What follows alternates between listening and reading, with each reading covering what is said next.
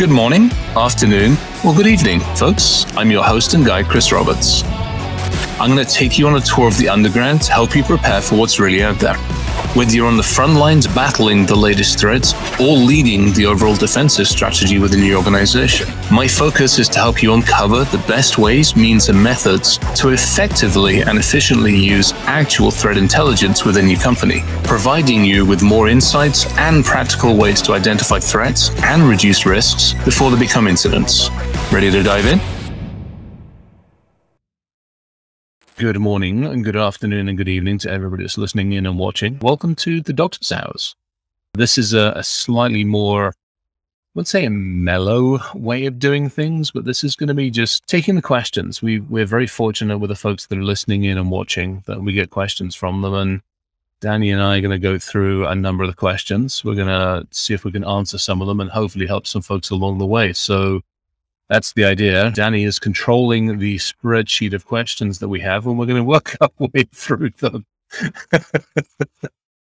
I like um, to control things sometimes. This is special.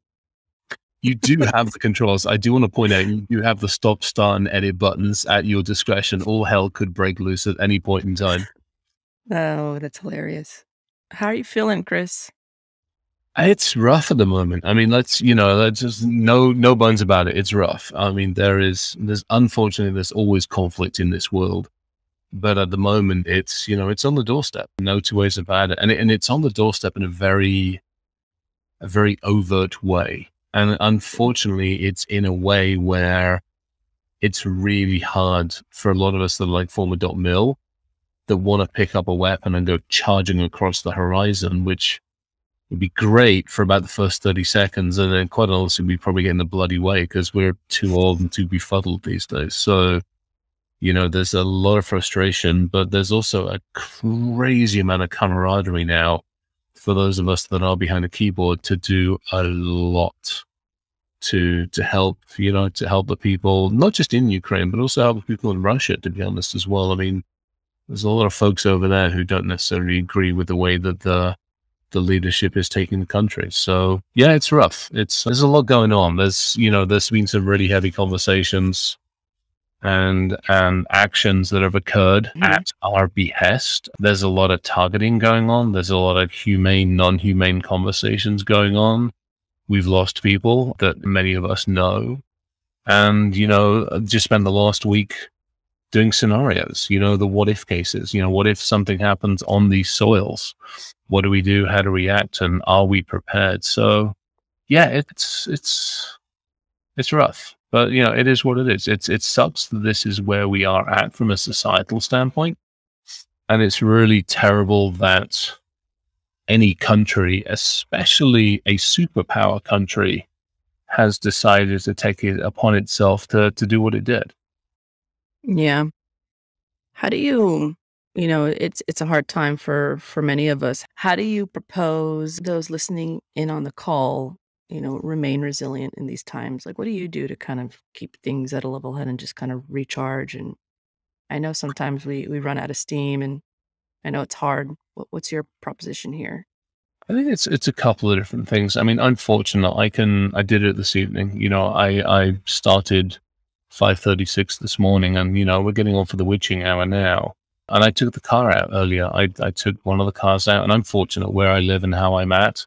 I just took one of the cars up into the hills for an hour and just drove around and came back down. Felt a lot.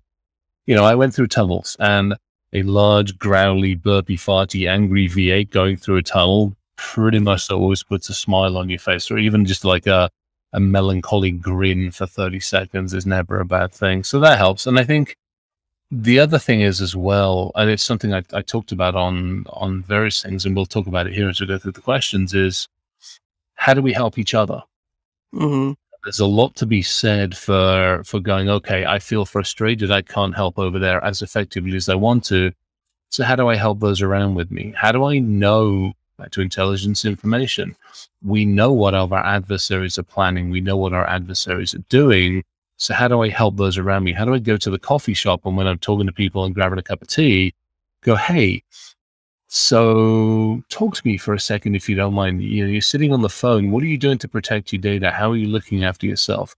hey, you know, I was in the restaurant earlier and I'm like, so what, what are you folks doing to, to back up your systems? How are you making sure that if I, I take that computer either physically or digitally, that you can recover, that you can keep going, that you can pay your employees, that you'll open tomorrow? So just helping everybody around become a little bit more aware and just trying to pass on some knowledge and, and really kind of taking more people off of that bottom rung of the ladder. I think there's a lot to be said for for being able to do that for people. Yeah. And I mean, that's kind of the hope also with the doctor's hours session is to run through some of those scenarios and run, run through some of those questions that the audience is bringing you Yeah. so that they're they're armed with the right information. So do you want to dive in? Yeah, let's dive in. Let's see what we got going on. Cool. All right. So in the last few weeks, we've gotten quite a few questions coming in through through the website. I've curated a few. I hope we have enough time to go through them because they're pretty juicy. But let's kick it off with yeah, let's kick it off with one. Yeah, what's that? no, I'll try to keep my question, my answers. I mean, to, to to something at least more succinct than I normally do. All right, let's kick it off. Yeah, okay. We covered this topic, uh, I think a few episodes ago, but let's dig in deeper. The first question is What are your thoughts on information overload? Getting too much information can be overwhelming. What is enough intel and what is too much? Oh, back to that needle in the haystack conversation, if I remember rightly. We had that, and it became not just a needle in the haystack, it was the needle in the hay barn, wasn't it? We talk about, you know, actionable intelligence. And I think, I mean, it's, we are in the era or the era of information overload, and that's not going to change. I mean, when you think about it, back to the Ukraine conflict at the moment, it's war through social media. I mean, not only are we actually able to see what's going on, but then we have to look at information versus disinformation, what's truthful, what's not truthful. So even with the information we're presented, we have to do some analytics to understand is what we are being told and fed actual or not. So um, when we look at the information overload, I, I think we're just on the, we're we're on the forefront of it, and it's not going to change. Data itself, and somebody can correct me online. Data itself is is basically doubling every couple of years now. You know, I think it was like in the last two years, it's increased by like 95 or 98% or something crazy. So the quantity and the volume of data isn't going away. What we have to do is, is turn information into intelligence by asking it more succinct questions, by having better tools and technologies to ask it better questions. And, and a lot of that's going to come through autonomy. No two ways about it. Is it perfect? Absolutely not. Are we working on how to make it more effective? Absolutely, because we know we have to. And then it's taking that intelligence and making it actionable. You know, something we talked about, and it's something that, you know, will- there's a continue to come up as we talk to C suites and as we talk to practitioners. I, I don't care what's going on if it's not relevant to me. So I think that's where intelligence, what's the value of intelligence? To me, that value as to what's enough intelligence is if it helps me make a more informed decision. If you're telling me that a whole set of IP addresses should be absolutely blocked, well, why? Why do I care? Is that useful to me or is that just something that has to be added on the firewall or whatever? If you're telling me that, hey, I see a number of your executives that are being targeted over here or that physically are going to be in issues if they go here, then that's actionable. I can do something with that. And it's the same thing. If you turn to me and say, well, you've got code over the internet, well, who cares?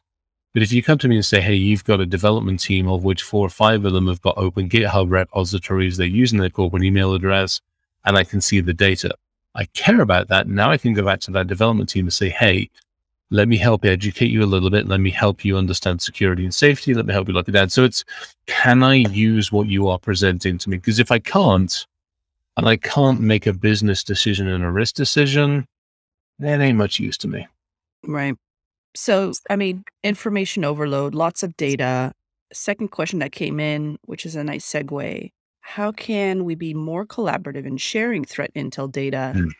and help small enterprises to adopt a- security approach at a cost effective manner?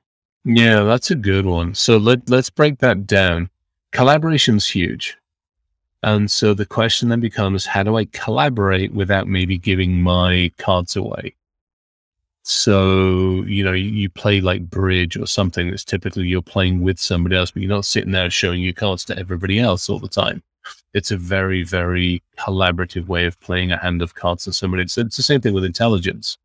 From a fiduciary standpoint or from a legal standpoint, might not be able to put my hand up and go, hey, I got breached and I haven't told everybody yet, but I'm going to tell you about it. But what I can do is have back channels. I can have conversations. I can get onto Signal and go, hey, Danny, can't say what's going on. We got some challenges. Do me a favor, make sure you've got this lockdown, this sorted out. Do me a favor, go check your Active Directory for this. And by the way, check your Intel feeds for this. That's helping you become more aware of maybe a specific incident. You put that in real life. Perfect example would be you know, if I see somebody sniffing around my next door neighbor's front door or mailbox, well, I'm going to A, check on mine and keep the cameras, make sure, but I'll also let everybody else know, hey, look, there's somebody sniffing around a mailbox. I might not say to them, hey, they carried off the mail, they had this and they had this and they had all this, because that's information that's private or secure to maybe me or somebody else. But I will make people aware at a situation level that's that's safe to do so. So that's one part. I think we can collaborate without disclosing a ton of information. We can focus people and point people. I also think that there's a way to to do a lot more with the smaller organizations. I'm seeing some really good efforts. There are definitely some good efforts where some government agencies uh, who work with small and medium businesses are reaching out and saying, "Hey, we've got resources for you. Use them. We want to help you. We want to educate you. We want to help you understand the questions to us. We want to help you understand where is your data? Who has access to it? Where are your assets? It's that know thyself. And I think what we could all do, every single one of us can do, is take that step back and start asking those what if questions. Start asking, hey, if that computer goes, or if that data center goes, or if that data gets out, or if that information is available, and you can start asking those yourself that doesn't cost money. It doesn't cost a darn thing. It takes a lunchtime and a couple of like-minded people to sit down and really have conversations. And mm-hmm. truthfully, some of the larger enterprises could probably be leading some of those efforts rather than coming down draconian on their supply chain, coming down and saying, Hey, look, we've got a series of things for you to think about. Even if you take uh, like the NIST cybersecurity framework, not even the whole heavyweight, even just the CSF, breaking that into plain simple language and helping companies just understand simple stuff, education, passwords, backups, antivirus, patching, physical controls, software, firmware, just some simple things that companies of any size and scale can do to help themselves. I think we could do a lot more there.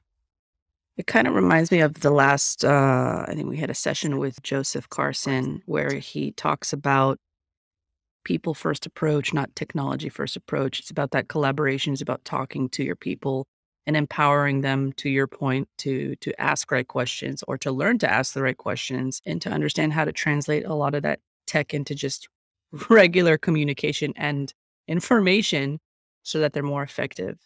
Yeah, I 100% mm. with you. And I and I think you just hit it as well, which is it's almost a translation effect. I don't yeah. want to go to all my supply chain and say, hey, you got to fill out the 800 53. I mean, there's just no time to do it. But hey, look, I got 10 things. I just 10 things I want you to look at, or five things. Do me a favor, take a look at them. I've given you some examples, I've given you some easy way to do them. Help you to help yourself, to help me, and all the, you know, it's reciprocity at that point. Yeah. So yeah, I think you're right. You break it down, we make it simpler and easier to digest for everybody. All right. Another great segue to what is the next awesome question from an anonymous guest actually. Um actually everyone is anonymous. I'm not calling calling them out this time unless they allow me to. It's your fault. We blame I know. you. Yeah.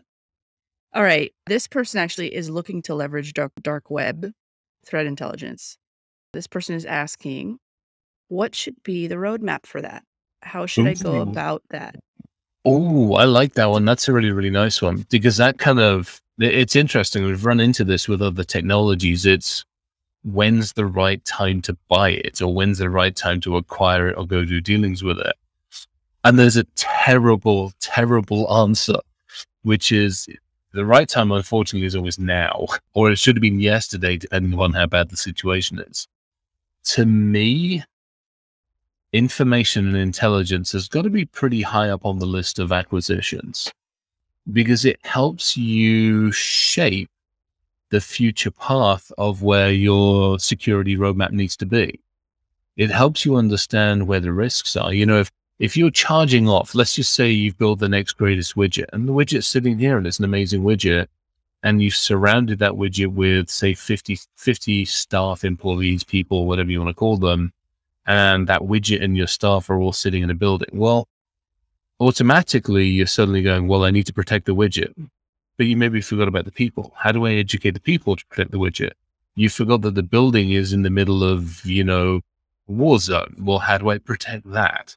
And so all of a sudden, if you build intelligence in, it helps you make that more informed decision.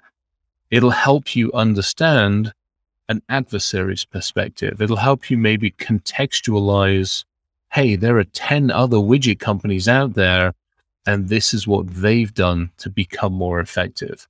So I think that's a big part of it is you almost want intelligence very early in your roadmap, very early, in your and you don't have to go out and buy the Rolls Royce.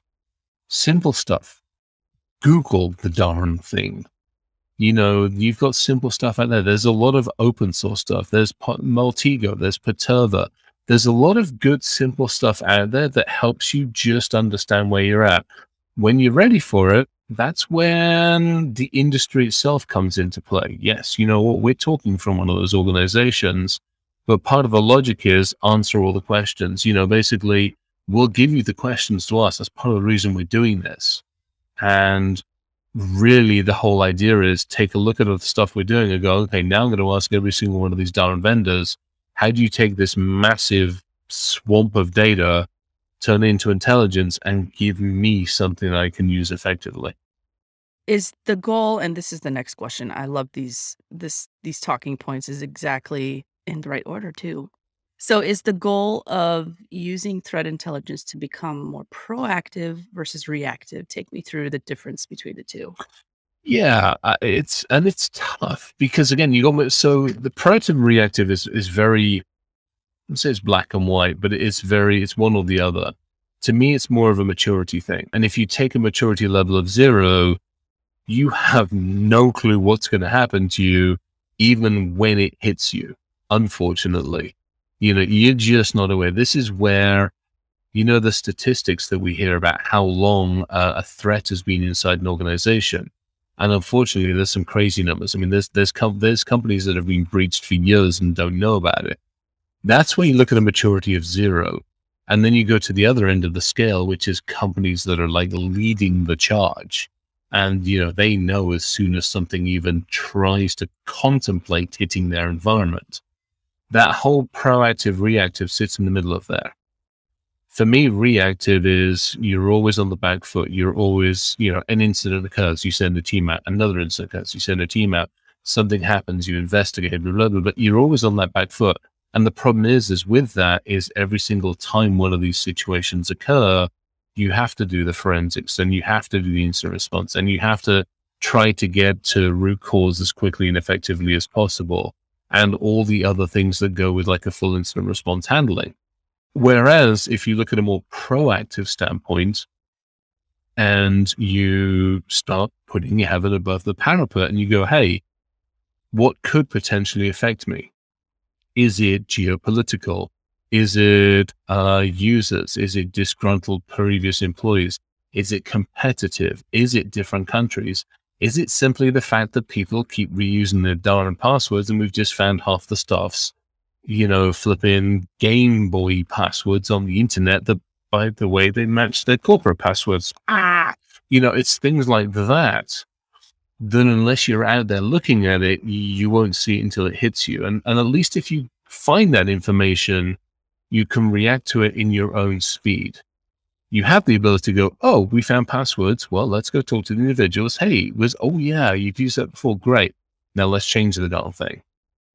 Are you reacting to a situation? Absolutely. But you're doing it kind of like outside of your outside of your environment, your your sphere of influence. So to some degree, now you are getting more proactive because you're going out there asking the questions as to what could hit me versus just waiting for someone to smack you between the eyes. I think we covered that. What was it? Six months ago, we did a threat hunting versus adversary hunting webinar on threat posts. Yeah. Um, we'll that was a that, fun one. Yeah, that was that's yeah. fun. I mean, that's and it's it's really interesting because again, you come out to that maturity conversation, and uh, part of it's maturity, but part of it is also philosophy. You know, are you as an organization happy building up your defensive architecture sufficiently just to hunker down? That's how a lot of companies are. Or are you willing to literally say, hey, here is my comfort zone we need to step out of it. We actually need to become more proactive. You know, everybody is still working from home. Yes, there are companies that are bringing people back in, but that attack surface has expanded. So if you've been sitting there hunkered down, you might not have thought about the fact that all the devices in the home become an attack surface. You might not have realized that, you know, half your employees during lockdown didn't want to keep cooking food every day. So they went out and bought a blasted microwave that's IoT enabled or they bought a hot pot that they can control from their work computer, thereby opening all sorts of. So if you realize this, you can get ahead of it and you can educate the people. You can say, Hey, love the fact you're doing it. Absolutely amazing. Here's how to do it safely. Here's how to do it securely. Or you end up reacting to the damn thing because now you find the hot pot's got direct connection to outer Mongolia and New Zealand, and let's just send you corporate secrets over there. Love it. All right. Last question for today. Yeah. I like that these are short and sweet to the point. All right. This is a loaded question, so bear with me as I take a breath in. All right. This was actually a, a recent question we got in through through the website. Where do mm-hmm. you draw the line when it comes to security applications you may need for your environment versus employing good security practices? What I mean is the barrage of salespeople trying to sell you the latest and greatest is borderline maddening. And it seems like there's always one more tool to quote unquote protect or one more application to get quote unquote full visibility. I don't want to be a bank here handing out tons of money, but at the same time, I don't want not to do anything at all. If you could give some insight or ideas on what to do in this type of situation, that would be great. Oh, I like this one because this is that whole people, process, and technology thing. This is, I like this. This is, and, and it's tough. Oh, is this a tough one because everybody's selling you the tool and technology that's going to fix all of your problems. And nobody ever stands up and goes, Yeah, we've only got it half covered or any of that kind of good stuff. So, first and foremost, let's let's start with the easy one. Let's before we go anywhere, anywhere near technology, the first thing you got to do is uh, we t- let's talk about situational awareness, and we've talked about this a few times, but we'll rerun it. So, if you don't know yourself and your environment, and we're talking the physical environment, we're talking the assets, the locations, the people, all these other things. If you don't know those effectively enough, then you're not going to know what to do, how to deal with it, or how to protect it, or how to reduce the risks on it.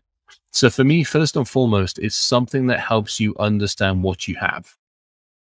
You know, and that's from the asset standpoint, the physical assets. And now we can talk about the digital assets as well. So what have you got? Where is it? What's on it? Who's accessing it? And what the hell are they doing with it? You know, those are some very, very simple ones. And like they're really simple. And again, you don't necessarily need a huge amount of technology with that. I mean, you can just use human power to be perfectly honest. But for me, I think that's probably the that's probably like number one. Know thyself. Now you've got that, then you can start taking a step back and okay, from a business perspective, what do we care about?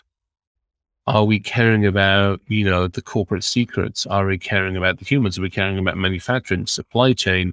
are we in retail and we have to care about you know credit cards and everything else so once you've actually figured out what you care about is it data is it you know is it physical assets now you can start to wrap some controls around those And those are both physical controls. So now we got people and process and then technology at the end of it.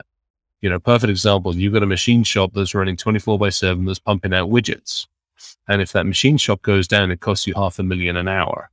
Well, you're going to want to put some protection around that. You're going to make sure that maybe there's separation, segmentation, and some monitoring. You're going to want to make sure that suppliers and everybody else come in through a VPN and authenticate. So now you've got two factor authentication, you've got monitoring in place, and you've got a consolidated framework for identification and user controls and access controls. Great. That's sorted that out quite nicely and quite easily. Now you're also going to log the stuff. So you're going to log it. You want to maintain those logs for 12 months, at least 13 would be nice. And so those are some simple things. Now take a step back and go, Hey, we're a retail client. Well, now you play the game of follow the credit card. You know what assets you have. You know where they are, who's got them, what's on. So now you play the follow the credit card. Now you know each point along there, you've got to encrypt it, you've got to manage it, you've got to control it, you've got to identify it, you've got to log it, you've got to monitor it, you've got to basically do the fiduciary steps necessary for say PCI or, or anything else.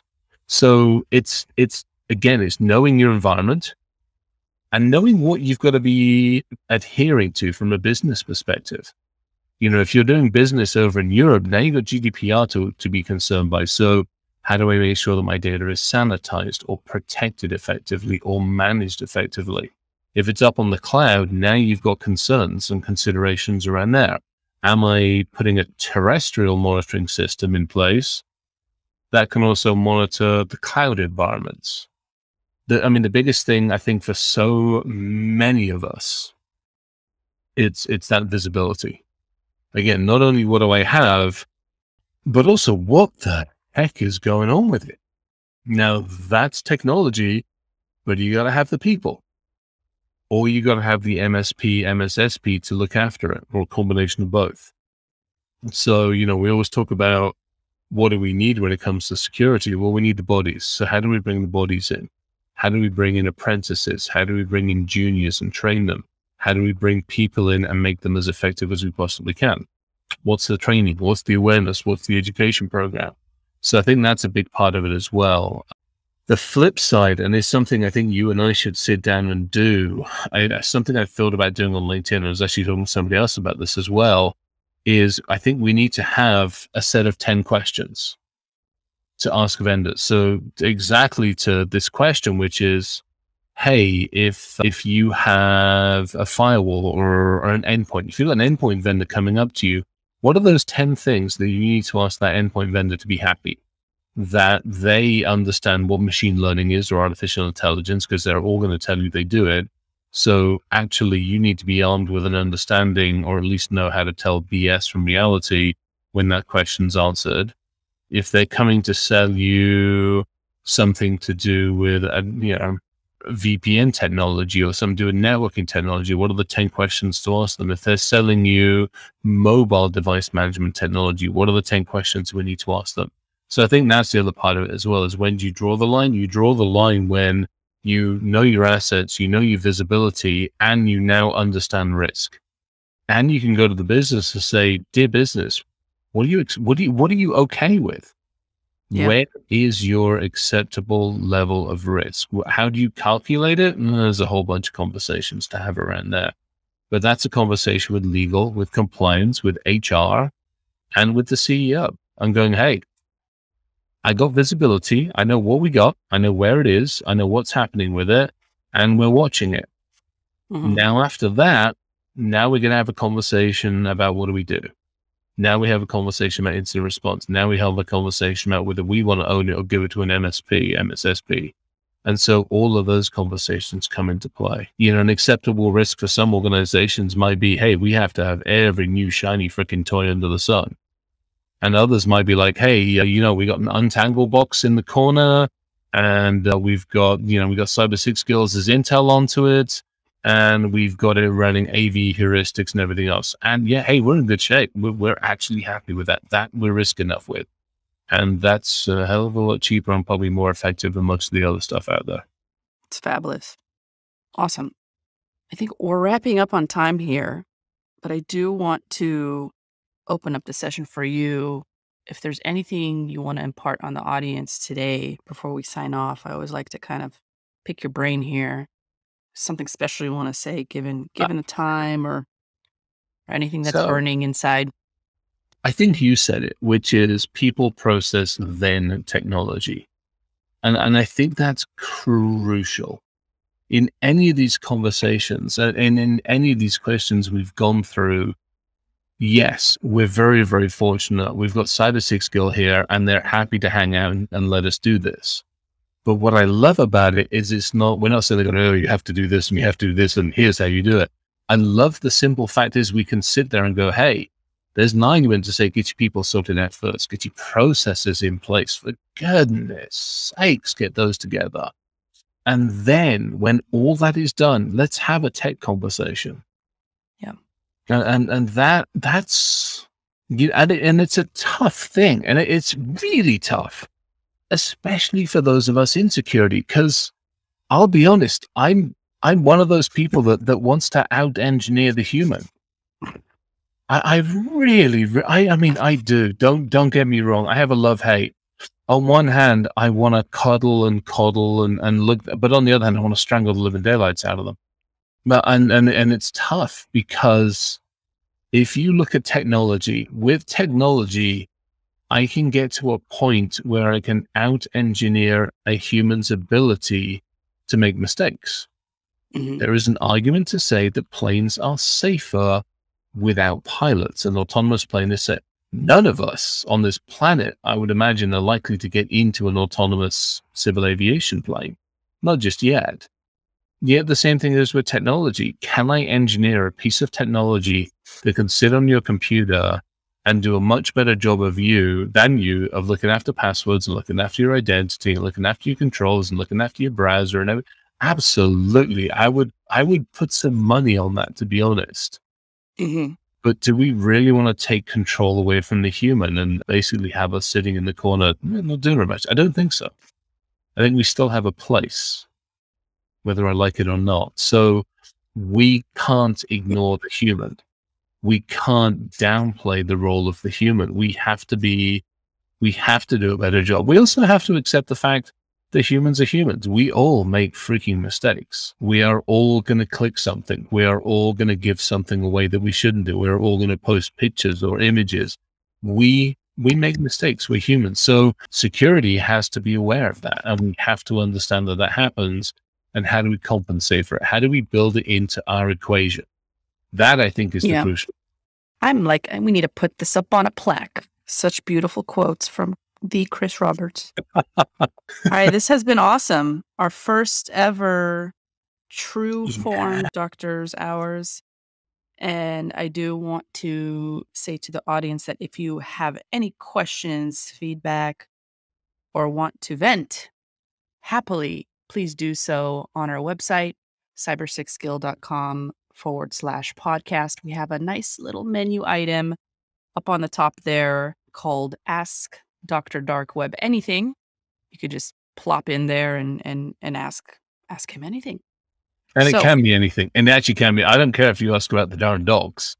I mean, there are three great There you here that would absolutely appreciate the odd question or two. I was going to throw that one in there for a second. Be careful, be careful. I uh, I may likely take that up. These mutts in the back are uh... Aw. all right. This has been awesome, Chris. Thank you. No, well, thank you. Thanks for tuning in to this episode of Dr. Dark Web. This show is brought to you by Cybersixgill, the threat intelligence company. If you would like to learn more, please feel free to follow or subscribe to Dr. Dark Web on your favorite podcast streamer. Or, as an alternative, you can always find us online at cybersixgill.com slash podcast. You'll find all the latest episodes, goodies, nuggets of information, background, and probably some stickers or two. See you in the dark.